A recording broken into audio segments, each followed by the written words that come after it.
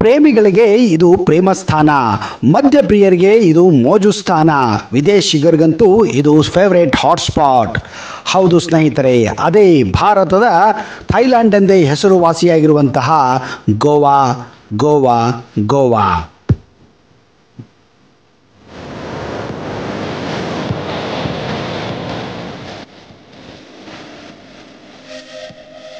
ಭಾರತದ ಪಶ್ಚಿಮ ಕರಾವಳಿಯ ತೀರದಲ್ಲಿರುವಂತಹ ಅದ್ಭುತವಾದಂತಹ ಪ್ರದೇಶವೇ ಈ ಗೋವಾ. ಕಾಸ್ಮೋಪಾಲಿಟನ್ ರಾಜ್ಯವಾಗಿರುವ ಗೋವಾ ತನ್ನಲ್ಲಿರುವ ಅದ್ಭುತ ಬೀಚ್ಗಳು ಮತ್ತು ಸರಳವಾಗಿ ಹಾಗೂ ಅಷ್ಟೇ ಕಡಿಮೆ ದರದಲ್ಲಿ ದೊರಕುವಂತಹ ಮದ್ಯದಿಂದ ಯುವ ಜನತೆಯಲ್ಲಿ ಮಾತ್ರವಲ್ಲದೆ ಹಿರಿಯರಲ್ಲೂ ಕೂಡ ಹೆಚ್ಚು ಜನಪ್ರಿಯತೆಯನ್ನು ಕಾಣುತ್ತಿದೆ.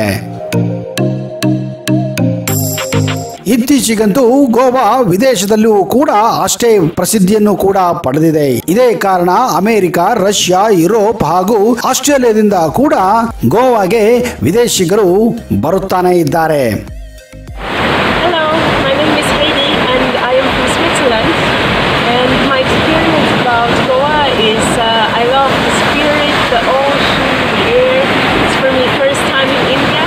ರಜೆಯ ಮೋಜನ್ನು ಅನುಭವಿಸಲು ಗೋವಾ ಇಡೀ ಭಾರತದಲ್ಲೇ ನೆಚ್ಚಿನ ತಾಣವಾಗಿದೆ.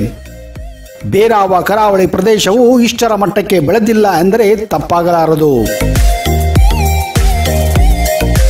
ಅರವತ್ತರ ದಶಕದವರೆಗೂ ಪೋರ್ಚುಗೀಸರ ಆಡಳಿತಕ್ಕೆ ಒಳಪಟ್ಟಿದ್ದ ಗೋವಾದಲ್ಲಿ ಪೋರ್ಚುಗೀಸ್ ಪ್ರಭಾವ ಯಥೇಚ್ಛವಾಗಿ ಕಾಣಬಹುದಾಗಿದೆ.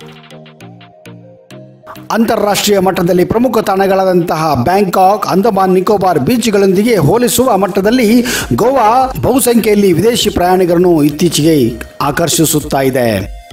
ಬನ್ನಿ ಸ್ನೇಹಿತರೆ, ಇವತ್ತಿನ ಈ ವಿಡಿಯೋದಲ್ಲಿ ನಿಮಗೆ ಗೋವಾದಲ್ಲಿ ತನ್ನ ನೈಟ್ ಕ್ಲಬ್ ಪಾರ್ಟಿಗಳಿಗೆ ಹಾಗೂ ಸುಂದರ ಕರಾವಳಿ ತೀರಕ್ಕೆ ಹೆಸರುವಾಸಿಯಾಗಿರುವಂತಹ ಅಂಜುನಾ ಬೀಚ್ ಬಗ್ಗೆ ಹತ್ತು ಕುತೂಹಲಕಾರಿ ವಿಷಯಗಳನ್ನು ಹೇಳಕ್ಕೆ ಹೋಗ್ತಾ ಇದ್ದೀನಿ. ಒಂದು ವೇಳೆ ನೀವು ಈ ಚಾನಲನ್ನು ಇನ್ನೂ ಸಬ್ಸ್ಕ್ರೈಬ್ ಮಾಡದೇ ಇದ್ದರೆ ದಯವಿಟ್ಟು ಸಬ್ಸ್ಕ್ರೈಬ್ ಮಾಡಿ, ಜೊತೆಗೆ ಬೆಲ್ ಐಕನ್ ಕೂಡ ಪ್ರೆಸ್ ಮಾಡಿ.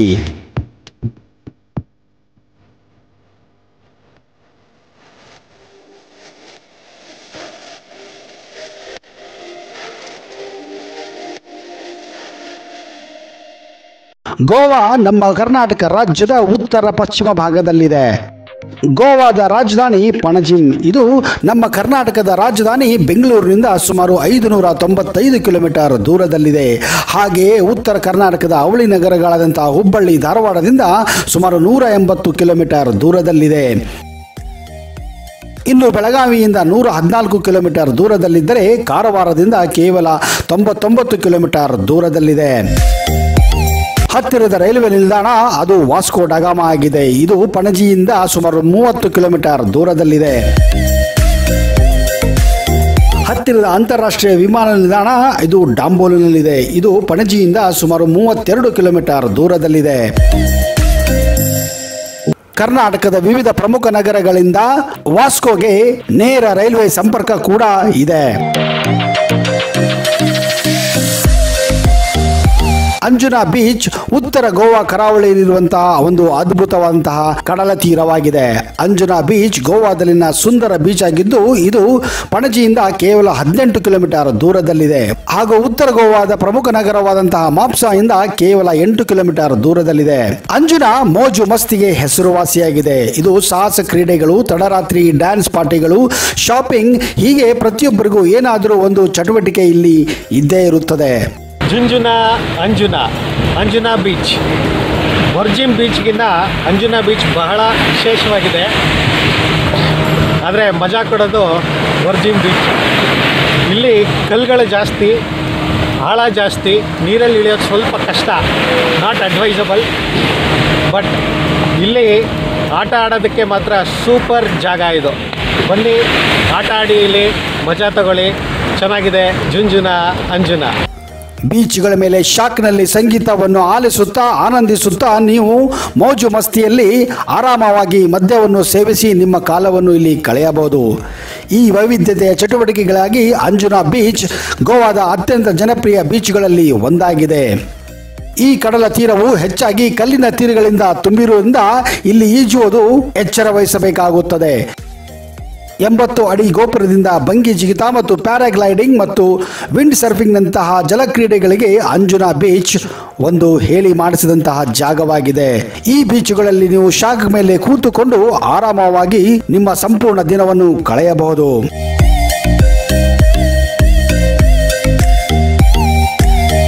ಬೀಚ್ ಶಾಖಗಳಿಂದ ಹಿಡಿದು ಐಷಾರಾಮಿ ಅಂಗಡಿ ಹೋಟೆಲ್ಗಳವರೆಗೆ ಅಂಜುನಾದಲ್ಲಿ ಪ್ರತಿ ಬಜೆಟ್ಗೆ ತಕ್ಕಂತೆ ಕೆಲವು ವಸತಿ ಸೌಕರ್ಯಗಳು ಕೂಡ ಇವೆ. ಹಾಗೆ ಜನಪ್ರಿಯ ರಿಸಾರ್ಟ್ಗಳನ್ನು ನೀವು ಇಲ್ಲಿ ಕಾಣಬಹುದು. ಒಳ್ಳೆ ಜಾಗ.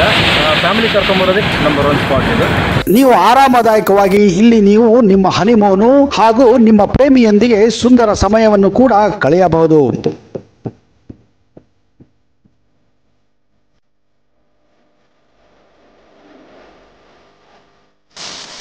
ರೋಡ್ ಸೈಡ್ ಹಾಸ್ಟೆಲ್ಗಳು, ಬಜೆಟ್ ಹಾಸ್ಟೆಲ್ ವಸತಿಗಳು ಸಹ ನೀವು ಇಲ್ಲಿ ಕಾಣಬಹುದು. ನೀವು ಒಂದೆರಡು ತಿಂಗಳು ಅಂಜನಾ ಬೀಚ್ನಲ್ಲಿ ಉಳಿಯಲು ಯೋಚಿಸಿದ್ದರೆ ಬಾಡಿಗೆ ಮನೆಗಳು ಕೂಡ ನಿಮಗೆ ಇಲ್ಲಿ ಸಿಗುತ್ತವೆ. ಅಂಜನಾ ಬೀಚ್ ತನ್ನದೇ ಅಂತ ಮಾರುಕಟ್ಟೆಗೆ ಪ್ರಸಿದ್ಧಿಯಾಗಿದೆ. ಈ ಮಾರುಕಟ್ಟೆ ಪ್ರತಿ ಬುಧವಾರ ಮತ್ತು ಶನಿವಾರ ಕಾರ್ಯನಿರ್ವಹಿಸುತ್ತದೆ. ಇಲ್ಲಿ ನೀವು ದೇಶ ವಿದೇಶಿಯ ಭಾರತೀಯ ವಸ್ತುಗಳನ್ನು ಖರೀದಿಸಬಹುದು.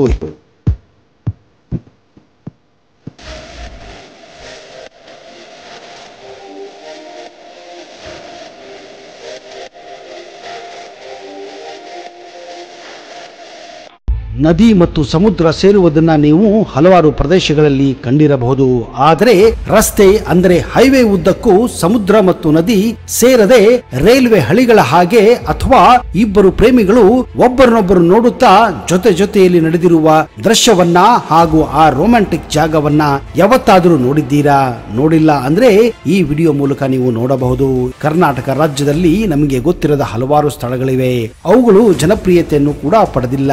ಆದ್ದರಿಂದ ಅವುಗಳು ರಾಜ್ಯದ ಗುಪ್ತ ಸುಂದರ ತಾಣಗಳಾಗಿವೆ. ಈ ಗುಪ್ತ ತಾಣಗಳು ಆಫ್ ಬೀಟ್ ಪ್ರಯಾಣಿಕರಲ್ಲಿ ರಾಜ್ಯವನ್ನ ಜನಪ್ರಿಯಗೊಳಿಸುವ ತಾಣಗಳಾಗಿವೆ. ಸೌಪರ್ಣಿಕಾ ನದಿ ಹಾಗೂ ಸಿಂಧು ಸಮುದ್ರ ಅಂದ್ರೆ ನೀವು ಕರೆಯುವ ಅರಬ್ಬಿ ಸಮುದ್ರದ ನಡುವೆ ನ್ಯಾಷನಲ್ ಹೈವೇ ಅರವತ್ತಾರು ರಾಷ್ಟ್ರೀಯ ಹೆದ್ದಾರಿಯ ಮಧ್ಯೆ ನೀವು ಕಾಣುವ ಸ್ಥಳವೇ ಮರವಂತೆ. ಇದು ಅಸಾಂಪ್ರದಾಯಿಕ ದೃಶ್ಯಾವಳಿಯನ್ನು ಹೊಂದಿರುವ ಒಂದು ಅದ್ಭುತ ಹಾಗೂ ರೋಮಾಂಚನಕಾರಿ ಜಾಗವಾಗಿದೆ. ಕರಾವಳಿ ಪಟ್ಟಣವಾದ ಕುಂದಾಪುರ ಬಳಿ ಕರ್ನಾಟಕದ ಉಡುಪಿ ಜಿಲ್ಲೆಯಲ್ಲಿರುವ ಮರವಂತೆ ಸಿಂಧು ಸಮುದ್ರದ ಸಮೀಪದಲ್ಲಿರುವ ಒಂದು ಚಿಕ್ಕ ಗ್ರಾಮವಾಗಿದೆ.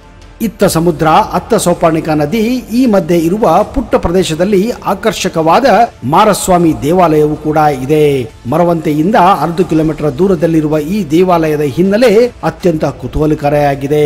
ಬಹು ಹಿಂದೆ ವ್ಯಾಪಾರಿ ಹಡಗೊಂದು ಅಲ್ಲಿನ ಸಮುದ್ರ ತೀರಕ್ಕೆ ಬಂದು ಸೇರುತ್ತದೆ. ನೋಡಿದಾಗ ಮಹಾರಾಜರ ಶವವು ಅದರಲ್ಲಿ ಮೂರು ಚೂರುಗಳಾಗಿ ಬಿದ್ದಿದ್ದವು. ಅವುಗಳನ್ನು ಪೂಜಿಸುವ ಹಿನ್ನೆಲೆಯಲ್ಲಿ ಇಲ್ಲಿ ಮೂರು ಗರ್ಭಗುಡಿಗಳುಳ್ಳ ದೇವಾಲಯ ಕೂಡ ಆ ಸಮಯದಲ್ಲಿ ಸ್ಥಾಪನೆ ಮಾಡಲಾಗಿತ್ತು ಸ್ಥಳೀಯ ಪ್ರವಾಸಿಗರು ಮತ್ತು ದಾರಿ ಹೋಕರಲ್ಲಿ ಇದು ಅತ್ಯಂತ ಜನಪ್ರಿಯವಾಗಿದೆ. ಅದರ ಕಡಲ ತೀರವು ವರ್ಷವಿಡೀ ಜನಸಂದಣಿಯಿಂದ ಕಿಕ್ಕಿರಿದು ತುಂಬಿರುತ್ತದೆ ಮತ್ತು ಅಷ್ಟೇ ಅಚ್ಚುಕಟ್ಟಾಗಿದೆ. ಮರವಂತೆ ಇನ್ನೂ ಅಷ್ಟೊಂದು ಕಮರ್ಷಿಯಲ್ ಆಗಿಲ್ಲ. ನೀವು ಅದರ ಅದ್ಭುತ ಕಡಲ ತೀರಗಳ ಸೌಂದರ್ಯವನ್ನು ಶಾಂತಿಯುತವಾಗಿ ಆನಂದಿಸಬಹುದು ಹಾಗೂ ಸವಿಯಬಹುದು. ಕಾಲಾಂತರದಲ್ಲಿ ನಿಯಮಿತವಾಗಿ ಅದರ ಸಂಯೋಜಿತ ಪರಿಸರವನ್ನು ಆಸ್ವಾದಿಸಲು ಅಲ್ಲಿಗೆ ಬರುವ ಆಫ್ ಬೀಟ್ ಪ್ರಯಾಣಿಕರಲ್ಲಿ ಇದು ಅತ್ಯಂತ ಜನಪ್ರಿಯವಾಗಿದೆ.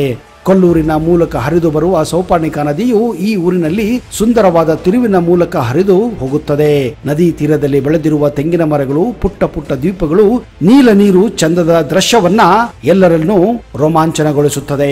ನದಿ ಮತ್ತು ಸಮುದ್ರ ನಡುವೆ ಮೋಡಿ ಮಾಡುವ ದೃಶ್ಯವನ್ನು ಕಣ್ತುಂಬಿಕೊಳ್ಳಲು ನೀವು ಈ ಭೌಗೋಳಿಕ ವಿದ್ಯಮಾನದ ಸೌಂದರ್ಯವು ಈ ಋತುವಿನಲ್ಲಿ ಮರವಂತೆಗೆ ಭೇಟಿ ನೀಡಲು ನಿಮ್ಮನ್ನ ಸೆಳೆಯೋದು ಸಹಜವೇ.